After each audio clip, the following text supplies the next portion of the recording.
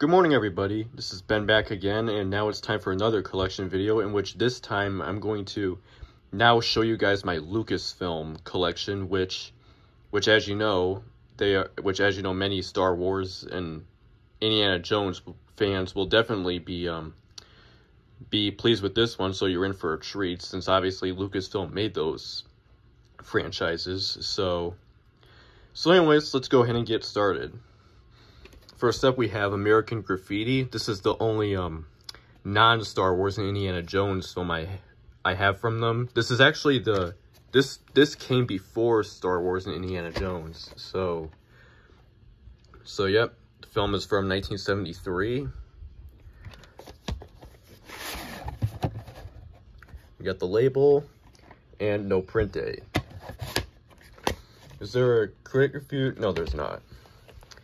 All right, now I'm going to show you guys the Star Wars stuff. First up, we have the original trilogy, which is all in this box set here, containing all three of the original films. So we got this side and the back side. And I'm going to take this out of the thing. So here's uh, another side of it, and then the actual packaging and then the tapes, which I'm going to show you right now. Here's the original Star Wars film, which is also known as Star Wars A New Hope.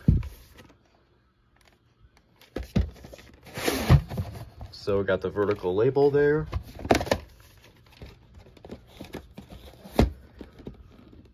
And then here is The Empire Strikes Back. The original Star Wars film, or A New Hope, is 1977. This one's from 1980 course, these are all re-releases from 1977. No, 1997. Sorry about that. Don't know what I was thinking there, but that's okay. Not a big deal. And finally, of these, we have Return of the Jedi from 1983. Or Episode 6, because Empire Strikes Back is Episode 5, and then New Hope, which is the original. The first one is Episode 4.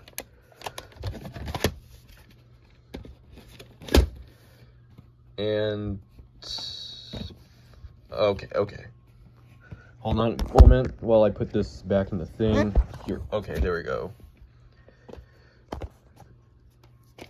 Next up, we have Star Wars Episode 1, The Phantom Menace from 1999. This is the first film in the prequel trilogy. I have this on DVD as well, but I'm just only showing the videotape. And the print date is December 30th, 1999, printed a day before New Year's Eve of that year.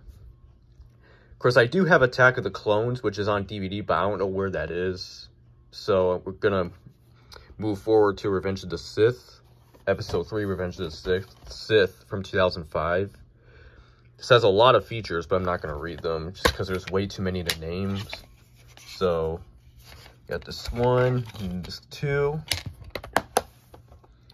Okay, so that's it for my Star Wars stuff. Now we're going to go on to the Indiana Jones stuff. First up, we have Raiders of the Lost Ark, which is from 1981. The first film in the Indiana Jones series. The most incredible series of action and stunt set pieces I've ever seen in a movie by Roger Ebert's home, movie Home Companion.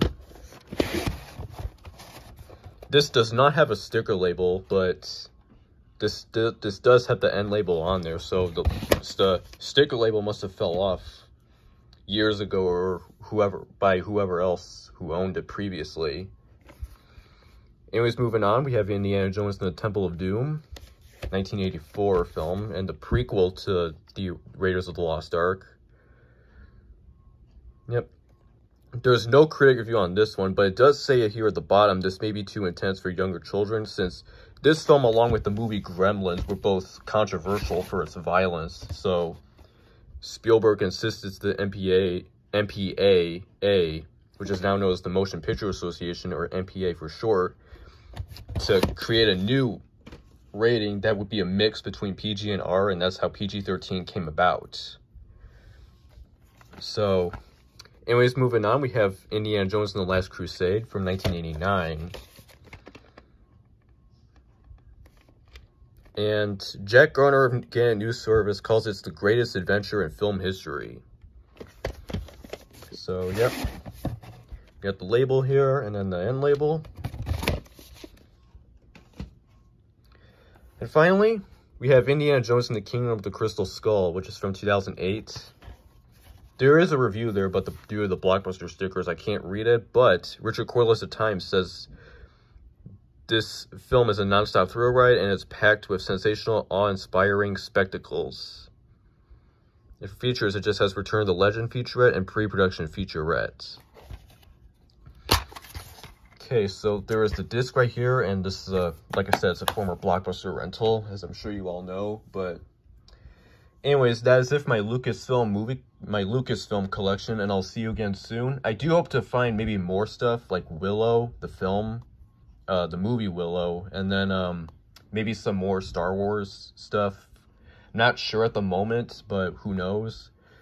And I do plan on finding Indiana Jones and the Dial of the Destiny, which is the new one that just came out uh, this past summer. I do hope to find that so I can have all the Indiana Jones movies. Um, well, different formats though, but still. So, um, so yeah. But anyways, there you have it for this video, and I'll see you again soon.